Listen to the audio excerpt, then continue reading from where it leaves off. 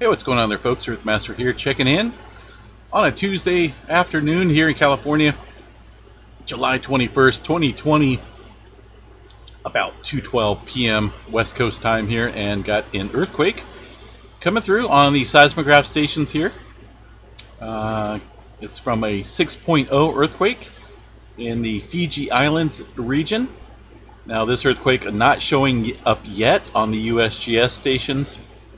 Uh, but it is showing up on the EMSC website. Uh, just give you guys a heads up. Here is the earthquake signature that is popping off right there, 6.0. Pretty good sized quake there.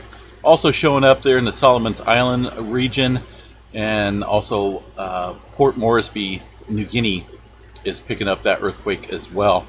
Let's go ahead and check out the specifics on it from the EMSC csem.org website. It does show that earthquake on the map here in the kind of purple or magenta color, if you will, indicating the last earthquake uh, on the map here. And you can see the coordinates there.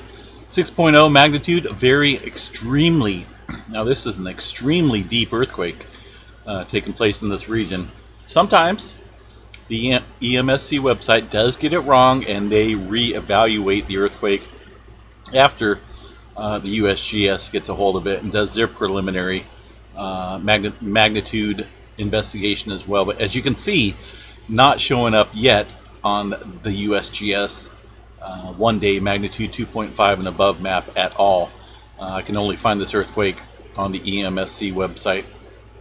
So 6.0 uh, according to this to the European model. And the depth of it, like I said, very deep, 616 kilometers below surface there.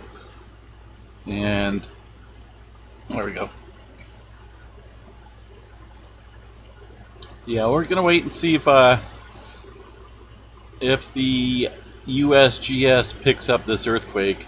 As of right now, on the earthquake 3D globe, definitely not picking it up uh, at all. There has been some deeper earthquake activity south of the region, um, well, over the last 24 hours or so. But right now, according to these folks, the USGS only putting out a 3.2 over there in the Puerto Rico area as their latest earthquake. So, no tsunami warning with this. This thing is very deep, even if it was a larger magnitude earthquake. Excuse me, I just ate a whole bunch of tacos here, carnitas tacos and uh, they were delicious, but it's giving me some hiccups now. But um, yeah, you can see that earthquake also showing up there, the signature of it at least. Uh, there in Papua New Guinea as well. So pretty deep. Um, and like I said, even if we did see a larger magnitude at that depth, I do not believe we would see any type of tsunami uh, at all. Even if it was a 7.5 or possibly even larger in that region, depending on the plate dynamics out there. But uh, the majority of the time, deep, deep earthquakes like that do not trigger uh, tsunamis.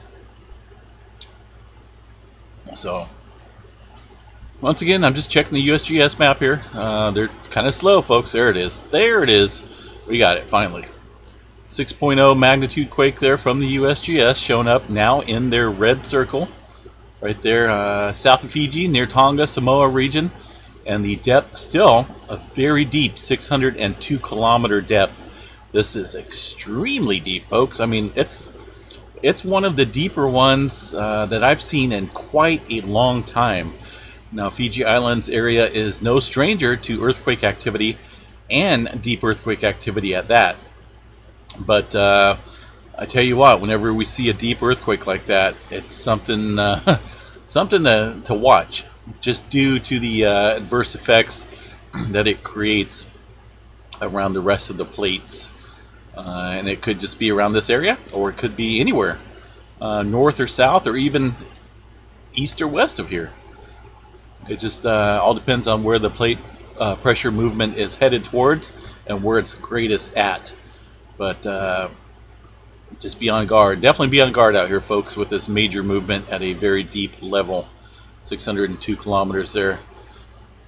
Uh, of course, that should be showing up on the Earthquake 3D globe. Let me double check, refresh it. Sometimes it takes a minute or two to show up on there as well. There we go. So we got that popping up there, that 6.0 in the green flag indicating that very deep earthquake. And uh, of course, on the earthquake 3D globe, you can tell it's very deep by the level of, um, well, how, how far it's raised off of the globe here. And you can see I can make this thing pretty small and it still goes way off the map there. A lot of uh, a lot of deep movement in the Fiji Islands area, but this one tops the chart there uh, with 602 kilometers. So uh, we have seen deeper, but uh, like I say, it's uh, some pretty deep movement there. Definitely be on guard, folks, uh, today, as this could be a early warning sign of something uh, potentially coming up here pretty soon at the surface level. Anyway, hope everyone's having a good day up there. To jump off here and uh, be monitoring the live stream here for a little bit. Have a good day.